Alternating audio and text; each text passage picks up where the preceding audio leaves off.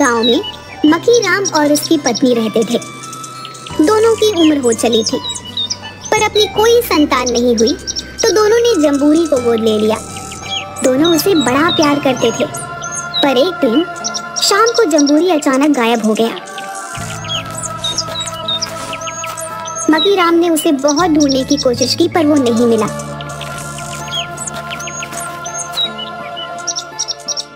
तो वे दोनों पुलिस स्टेशन में रिपोर्ट लिखवाने पहुँचे।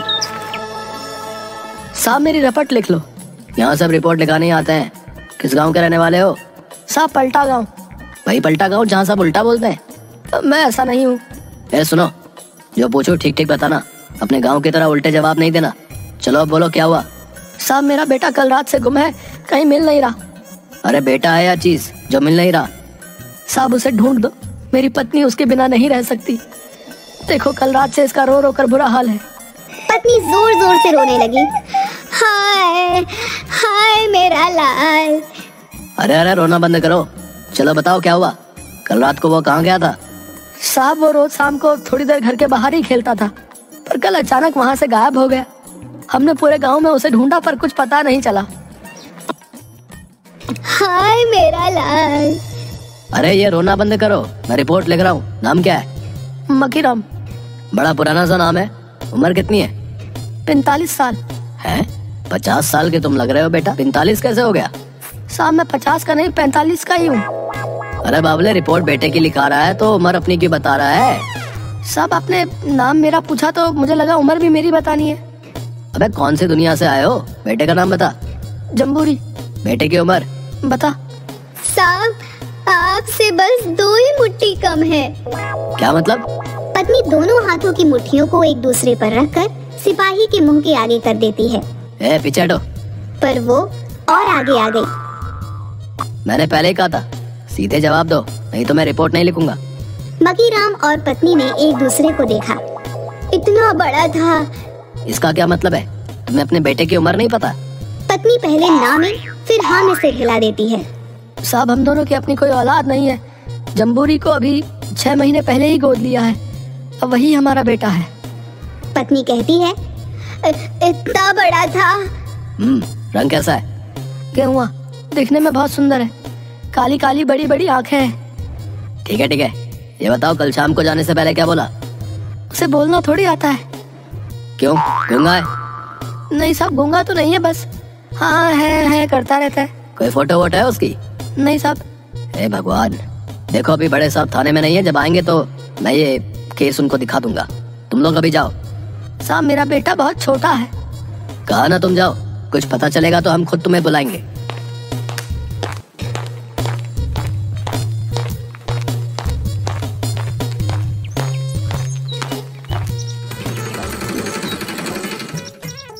थोड़ी देर बाद इंस्पेक्टर थाने में आता है और अपनी कुर्सी पर बैठकर टेबल पर दोनों टांगे पसार कर बोला एक सिरदर्द की गोली देना। आज मेरा सर दर्द से फटा जा रहा है। सर, आपको और सर दर्द? आज हो रहा है। झूठा कहीं का काम ना करने का बहाना है बस। बस कोई एक ढंगा केस सॉल्व हो जाए तो इस बार प्रमोशन पक्का। अच्छा तो ये सिर दर्द काम का नहीं, प्रमोशन का है। तुमने कुछ कहा? नहीं नहीं। सर, कल के उस चोरी वाले केस का क्या हुआ? उसकी फ़ाइल कहीं मिल नहीं रही। मिलेगी भी नहीं। वो केस खत्म हो गया। राक्षस कहीं का? पूरा केस खुद डकार गया। सर आज ये केस आया है? बच्चा कल शाम से गायब है, ढूंढना पड़ेगा। माँ बाप को किसी पर कोई शक है? सर, गुम होने में शक क्यों होगा? हो सकता है बच्चा गुम ना हुआ अपहरण भी तो हो सकता है। आजकल बच्चों को उठाकर ले जाते हैं। चलो, तहकीकात करते हैं।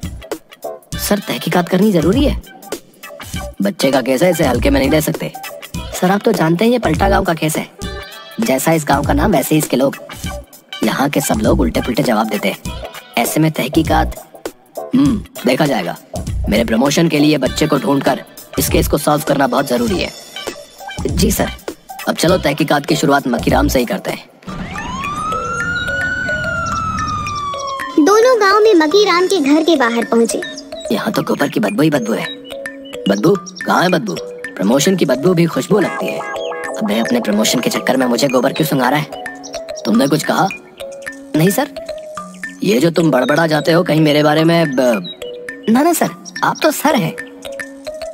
मकीराम ओ मकीराम मकीराम तुम्हें अपने बेटे के गुम होने पर किसी पर कोई शक है? साहब मैं कुछ समझा नहीं। तुम्हारी किसी से कोई दुश्मनी है? हो सकता है तुम्हें परेशान और दुखी करने के लिए बच्चे को गायब कर दिया गया हो। नहीं नहीं साहब इस गाँव में ऐसा कोई नहीं है। गाँव वाले तो मेरे जम्बूरी को गोद लेने पर बहुत खुश हुए थे। कईयों ने तो हमारी बहुत मदद भी की। ठीक है हम तहकीकात करते हैं। मकीराम और पत्नी इंस्पेक्टर के पैरों को पकड़कर हाय मेरा बेटा मेरा जम्बूरी कहाँ चला गया? साहब उसे ले आओ उसके बिना हम जी नहीं पाएँगे। अरे चलो हटो तुम सर के पैर छोड़ो हम उसे ढूँढने के लिए आए। सिपाही रास्ते में जाते हुए दो आदमियों से ए सुनो तुमने जम्बूरी को कहीं देखा है? एक आदमी ने हाँ में सिर हिलाया कहाँ कहाँ देखा उसे जंगल। जंगल में? क्या मतलब? इस गाँव में तो कोई जंगल नहीं है। क्या कह रहा है ये? साहब, ये जंगल बोल रहा अबे, ये क्या मस्खरी कर रहे हो? सर को अगर गुस्सा आया ना तो दोनों को अंदर कर देंगे, समझे? जम्बूरी जंगल जम्बूरी जंगल जम्बूरी जंगल। साहब, इसकी बात मत सुनो, ये थोड़ा खिसका हुआ है। आप जो बोलोगे, उसमें से कोई भी नाम पकड़ के जंगल जंगल ही बोलेगा। तेरा दिमाग खराब है? तेरा दिमाग खराब जंगल जंगल जंगल अरे चुप हो जाना साहब जम्बूरी अक्सर सर्कस में भाग जाता था। आप वहाँ पता करो वो वही होगा। चलो सर्कस चलते हैं। दोनों सर्कस में आते हैं। ए सुनो इस सर्कस के मालिक को बुलाओ। मालिक हाथ में चाबुक घुमाते हुए आया। तुम ही सर्कस के मालिक हो। मेरे सिवा और कौन हो सकता है? अरे ज़्यादा घुमा फिरा के बात मत करना। जो पूछा जाए सीधे सीधे बताओ। कितने बच्चे हैं सर्कस में? मालिक ने तीन उंगलियाँ दिखाई। अबे मुँह से बोल। तीन तीन बच्चे। तुम्हें पता नहीं छोटे बच्चों से काम करवाना गैर कानूनी है। वो बच्चे यहाँ काम नहीं करते उनके माँ बाप करते हैं। वो तो बस यहाँ उनके साथ रहते हैं। सब बच्चों और उनके माँ बाप को बुलाओ। ये वाला तो उम्र में बड़ा लग रहा है। ए बेटा चलो। तुम जाओ यहाँ से। तुम यहाँ किसके साथ रहते हो? अपने माई और बाबू के साथ। सच्ची में यही तुम्हारे माए बाबू है। वो मेरी माई और माई की माई बाबू नानी है और हाँ एक कालू काका भी है। बस बस रेलगाड़ी रोको। ठीक है बेटा अब तुम जाओ। तीसरा बच्चा बहुत मोटा और हंसमुख था। बच्चे को ज़ोर ज़ोर से हंसता देखकर तुम हंस क्यों रहे हो? अंकल मुझे एक नहीं पाँच टॉफी देना। मेरे पास तो बस एक ही टॉफी बची है। नहीं मुझे पाँच देना। अबे मोटे इतनी टॉफी खा के और मोटा हो जाएगा। मेरे लकड़ी जैसे बेटे को मोटा कहा? शर्म नहीं आई तुम्हें? मैंने कब मोटा कहा? इसने तो कुछ भी नहीं कहा। हम लोग मन की बात जान लेते हैं। ये हवलदार की जेबी पूरे पाँच टॉफी हैं और इसने मेरे लाला को मोटा भी कहा। ये लो तुम सब रखो चलो अब तुम लोग जाओ।